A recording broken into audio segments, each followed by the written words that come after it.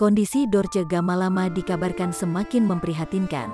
Kondisi terbaru artis Dorce Gamalama dikabarkan sedang koma di rumah sakit berdasarkan sebuah video viral yang diunggah oleh sebuah akun gosip di Instagram. Dalam video yang berdurasi 35 detik itu, terlihat Dorce terbaring lemah dengan mengenakan kerudung berwarna abu-abu memberikan pesan kepada rekan-rekan sesama artis yang ingin datang menjenguknya di rumah sakit. Artis-artis yang mau lihat saya, mau besuk saya, saya tidak maksa untuk saya dibesuk. Terima kasih dan saya juga tidak hormat untuk uh, dibesuk oleh siapa pun. Pokoknya saya namanya tamu, saya akan hargai, saya akan hormati.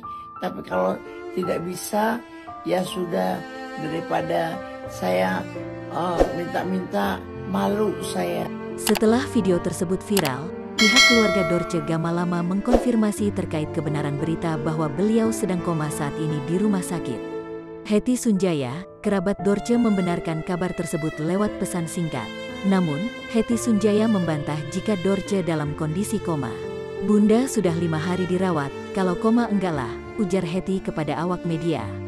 Ia menyebutkan kalau Dorce dibawa ke rumah sakit karena gula darahnya drop. Kini Dorce Gamalama sedang mendapatkan perawatan intensif dari pihak rumah sakit. Pihak keluarga memohon doa untuk kesembuhan artis senior tersebut.